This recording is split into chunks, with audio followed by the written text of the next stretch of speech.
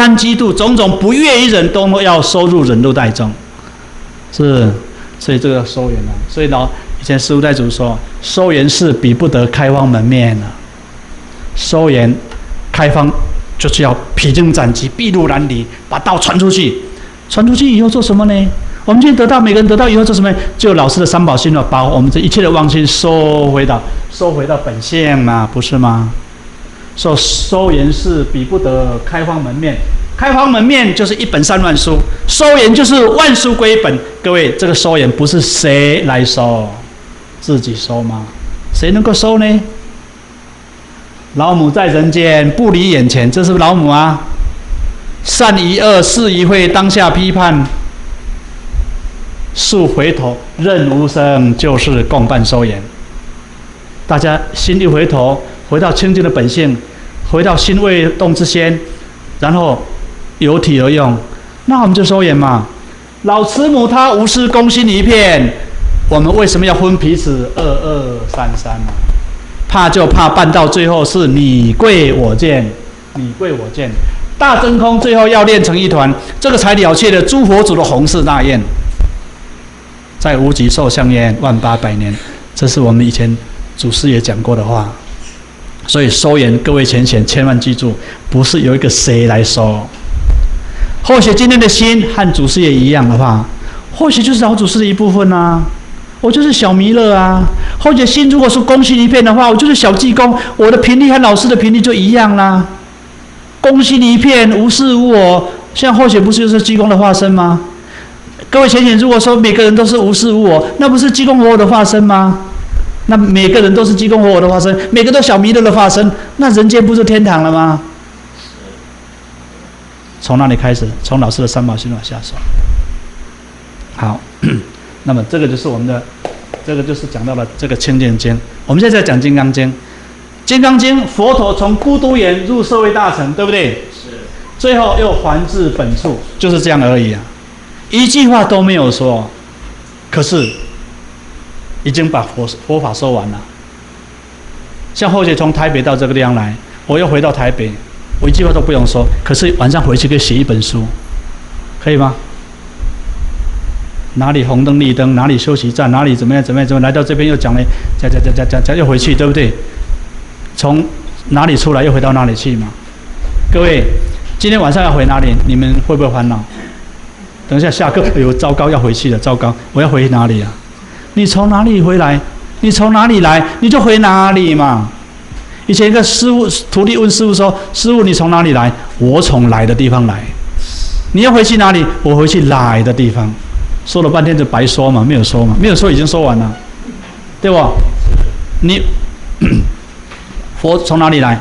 从孤独眼入社会大成，最后还至本处。因为还至本处以后，才说一波喜足以复作而作，才屏息诸言，勿生一念嘛。屏息诸言的，回到孤独眼，就一句话都没有说。可是佛法已经说完了，这样的意思吗？动，从还没有动来的吗？所以既然动了，心回到还没有动以前，那不就得了吗？我们动了心，我们动从哪里来？从还没有动来的嘛。啊，回到还没有动，叫做事实不动，不动嘛。事实不动心，动什么？动恶心。还没有动以前那个地方，是那地方来的吗？所以从孤独演入社会的，又还至本处，这个西普就看出来了。哇，不得了！你太如来太会照顾大菩萨、小菩萨。如来三护念诸菩萨，三属诸菩萨。请问佛陀，如果要善男信女要发心的时候，请问心要住哪里？因何应住？第一个问题哦。第二个问题，从哪里降伏心？降伏那个心，降伏那个妄心。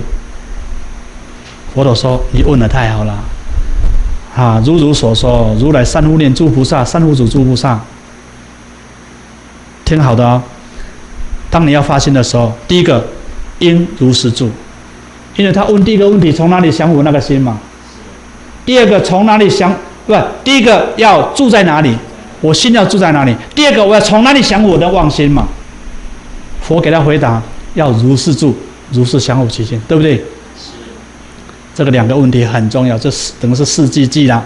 当然，四句偈的说法很多，不过这个其中一个最贴切的解释的方法，也当然也不是一定是绝对的。不过大家听听看，就好比说，各位前贤，现在后学，我心要住在哪里？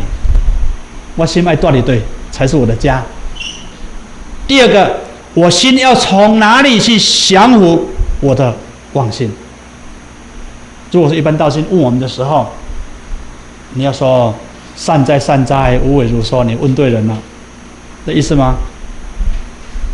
你佛告诉他说，你要如是住，如是想我去，因为他起的心嘛，对不对？那起的心，你这个心要住在哪里？住在你还没有起心以前那个吗？如是住嘛，如如还如如不动，那个地方就是你要住的地方嘛。你还没有出来，你如果晚上没有出来，要不要回去？啊，你既然出来了，你要回去，要回去哪里？回去哪里？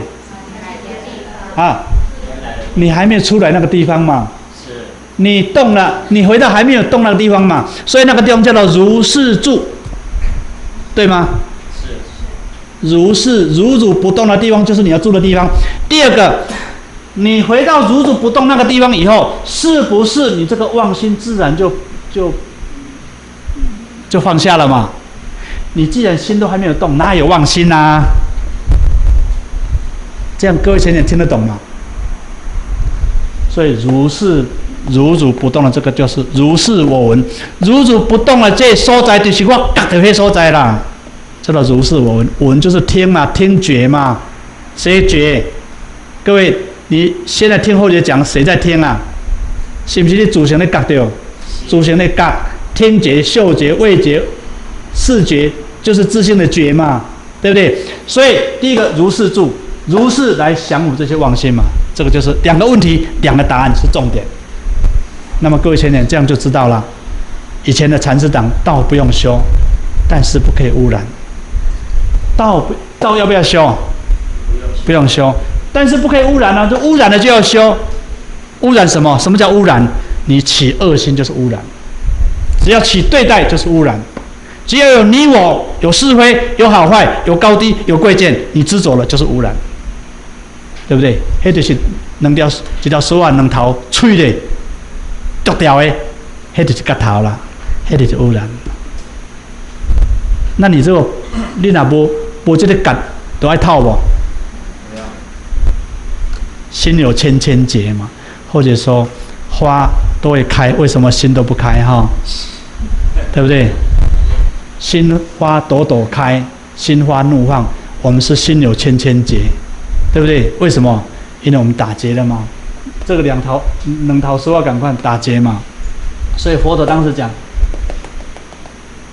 如是住，如是可以降服一切的妄心，妄嘛，起心就是妄心呐。你起善心、起恶心，通通都是妄心。只要起心就是妄心，但是欢喜呢？欢喜心，欢喜心是不是起心？呃，不能太欢喜的。清净心要不要？是不是起心？清净心要不要起？清清净心会不会清净太多？你就管它，就让它去嘛，对不对？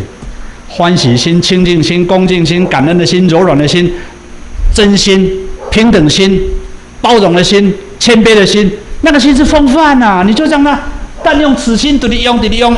那转注感用没完呐？安尼你累积累积的德行的路多啊，知道吗？那个是那个是自然流露的。好，所以两，所以这到第三份了。什么是生、卵生、胎生、化生、有想、无想、会有想、会无想，我接近入无语的涅槃。那些涅槃的心，是不是因为你的恶众生的心不平的心才产生那么多的众生啊？我决定入无义的涅槃，度和灭度是灭度了以后，其实没有众生是我灭度的，因为本来就没有那些众生嘛。那些众生是众念重生，妄念一直生出来才产生那些众生嘛。灭度了以后，其实本来没有众生嘛，你不那起那么多心，哪有众生？所以无疑就涅槃嘛。好，法会因有善现其前，讲的是心；大圣僧讲的是身。那么后面呢，佛一直给须菩提说。你如果能够为人家解说这部经，这样这部这部经什么经你知道吗？叫《金刚经》也好，《清净经》也好，《大学》也是不是大学呀？什么叫最大？没有对待是不是最大？是。什么叫中？喜怒哀乐之谓化叫做中，对不对？什么叫摩诃般若波罗蜜多心经？是摩诃大不大？心量广大，遍周法界，可是用着寥寥分明，是不是摩诃？是。是不是《清净经》？还有《金刚经》，还有太多《圆觉经》，还有《楞严经》。楞严不是大定吗？大定自信永远没有动过啊！定慧等学，动的是心啊，心不动，楞严大定啊，讲的也是本体嘛，对不对？所以家家有本难念的经。好，佛第一个，如果佛都给他讲了，如果你能够为人家解说这部经典，又能够受持读诵这部经典，什么叫受持读诵？受就是色受嘛，信受真传有没有？先天大道信理真传有没有？又读诵，读诵就是念念不离什么？念念不离什么？不离无所住，念念都不住一切处，那就是受持读诵，那一部经典才是大大经大部经典呐。又能够为人解说四季记，好比说，哎，浅浅，你说修道那么久，请问我怎么降伏其心？我心要住哪里呀？今天各位浅浅。也就住这里嘛，住这里也是没有错，下手住没有错。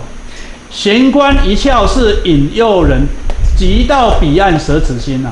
这个法三宝心法三种不同的方法，就是让我们回归到本初的方法嘛。玄关一窍是引诱人，即到彼岸，这个心要放下。